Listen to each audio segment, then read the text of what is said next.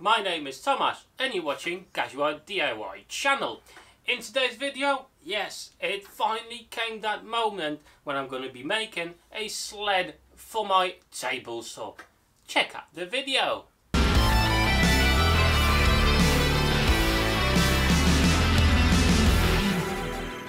So I wanted to make this sled for a very long time and now finally managed to get time to do it. So uh, the build itself is nothing groundbreaking, is as any other sled, although it will have some additional cool features that you may not have seen before, so make sure to watch the whole video. First of all, the runners, I'm actually going to be using some HDPE plastic as the runners themselves. Why? Because they will not shrink or expand with moisture as the wooden ones would do.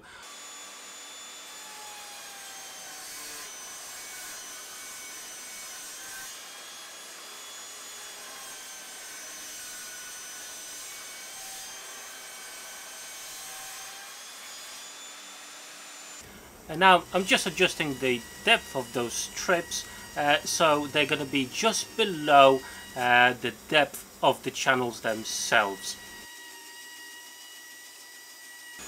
For the base I'm going to be using plywood and it's going to be a laminated one so I've got two pieces of 12 millimeters in thickness and um, that will give me a nice stability and a working surface. Right then guys, so uh, we've got our plywood cut to the right size. I have locked the fence in place as this will be my reference as to where we're gonna actually uh, put the board on our tabletop. Um, at this stage we will be attaching the um, plastic runners to the main board. Why at this point? Because it will be actually easier to build the top of the jig with the runners on. We'll know exactly the reference point from the blade where it is on the jig. So the strips are actually not as deep as the whole channel there. Hence I've put some washers in there just to raise the runners just a little bit so they will be proud of the surface of the table and to attach them to start with I'm just going to use some um, CA glue uh, to make the initial bond with the board and then we'll reinforce it with some screws.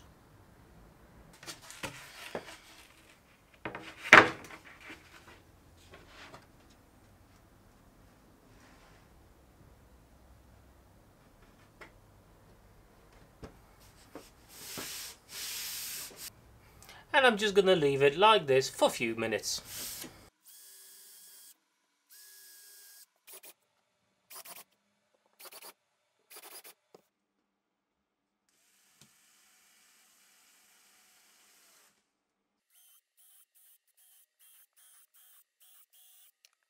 Now we'll make the initial cut in the board just to establish where the blade is so we can continue with putting the jig together in the correct manner.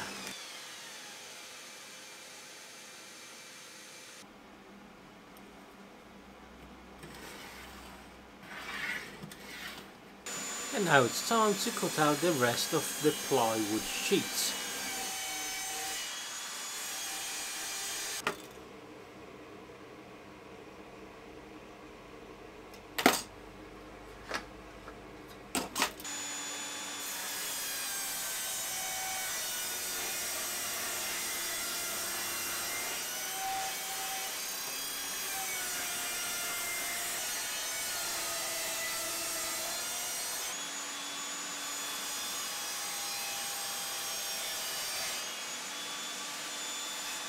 And now we'll cut the T-tracks to the correct sizes, so we can proceed with the assembly of the jig.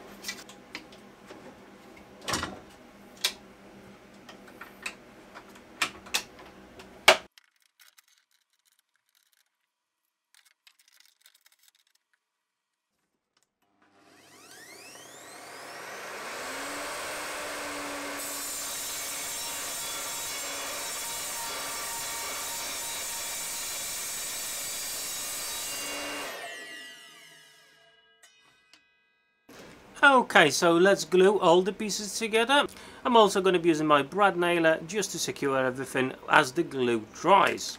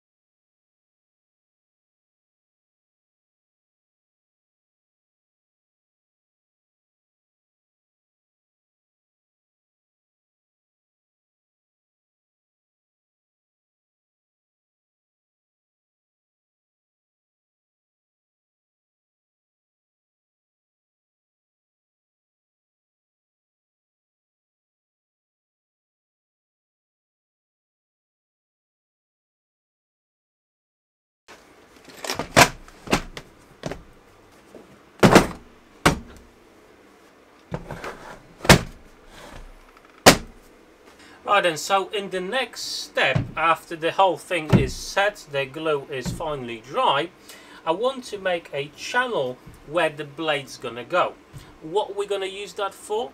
Well, I'm gonna try to do a uh, zero clearance insert plate that's gonna go right in there because sometimes you want to use different types of blades with your jig and then obviously you are losing the zero clearance that you made initially with the jig and over time the jig would get damaged so the zero clearance plate gives us the option to actually just change it around and then you've got a nice beautiful zero clearance plate that you can use on a different types of blades or just swap it when it's damaged. So I'm going to be using my router.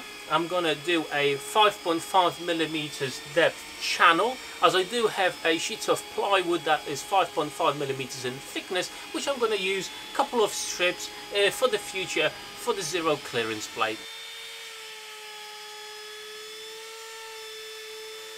And now it's time to install the T-Tracks.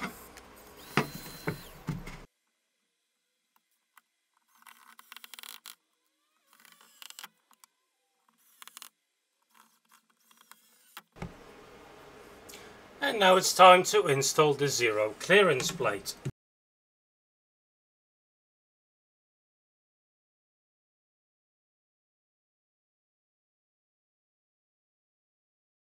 Next, let's install the T-Track on the fence.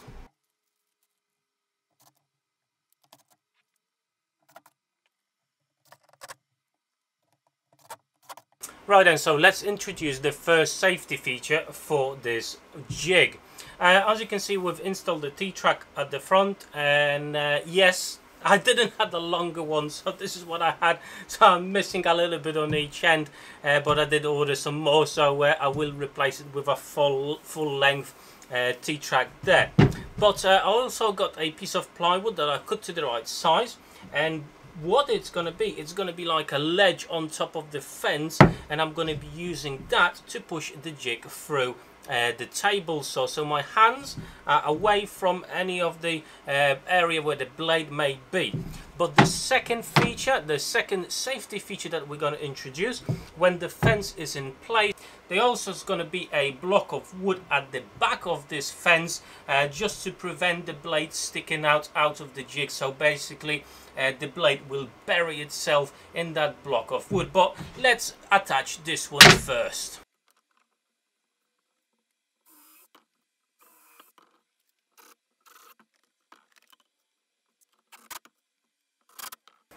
Okay, so now it's time to attach the back fence of the jig. Uh, this one is not that important, it just basically helps to hold the whole jig together and the alignment of that, it's not that important, we just need to make sure it's stable and secure.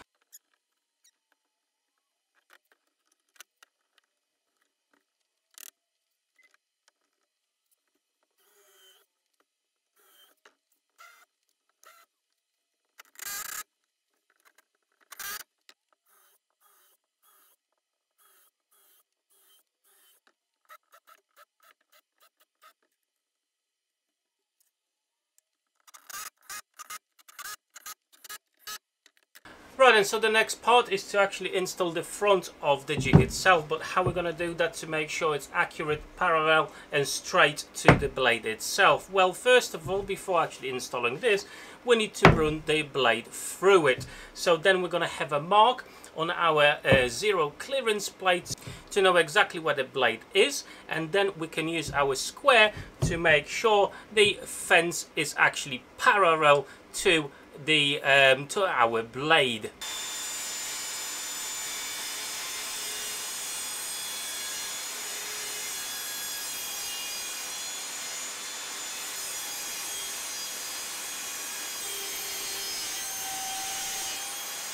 Okay, so we're going to start with more or less the similar approach. I've clamped the uh, main fence uh, to the whole jig.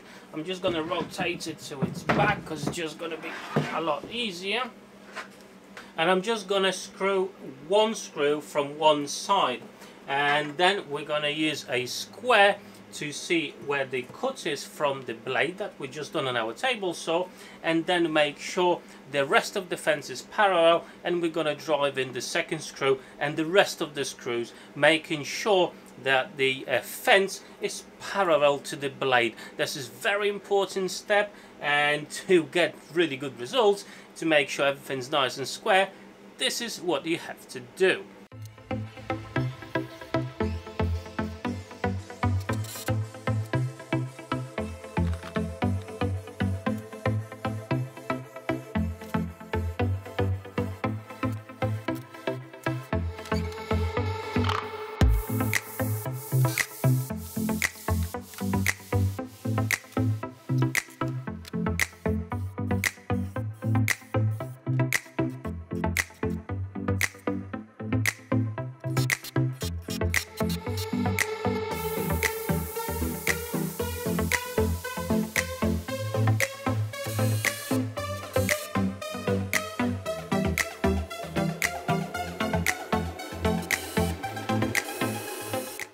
And the last step is to uh, give a bit of protection to the jig with a bit of Danish oil.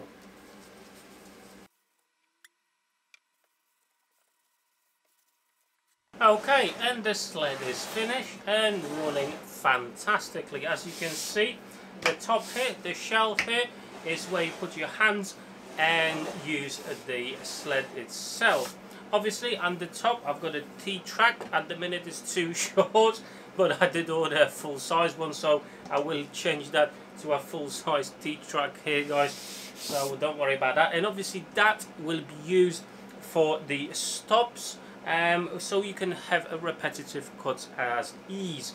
But also I'm going to use it for some jigs I'm planning to make now the one of the features that I really like is the zero clearance uh, insert plate that is located over here.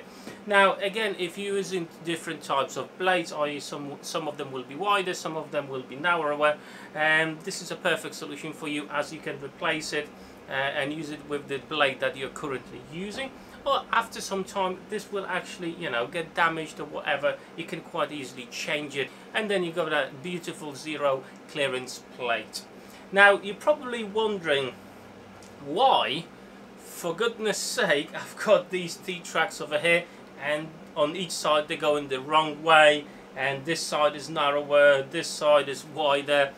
Right, okay, so this side over here, it will be my maze side where I'm going to actually be clamping my work pieces. So I'm going to be using uh, these, uh, so I'm going to be using these clamps to clamp my workpiece so my hands are away from the blade.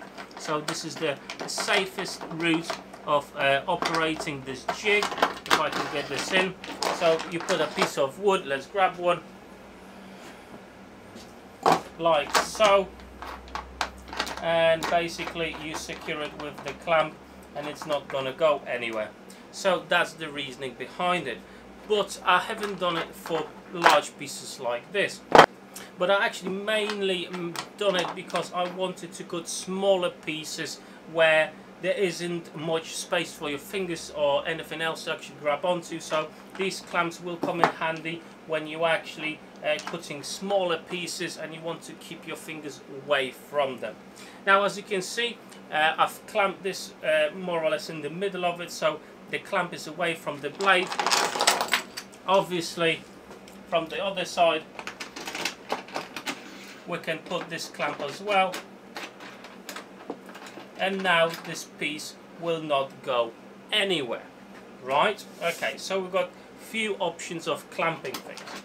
But as you know me by now there is another project coming out for these um, T-tracks. So there will be few jigs I'm going to be making for this particular sled. Uh, the first one will be from the right side. Um, I'm really excited about this one and I hope it will ease my workflow.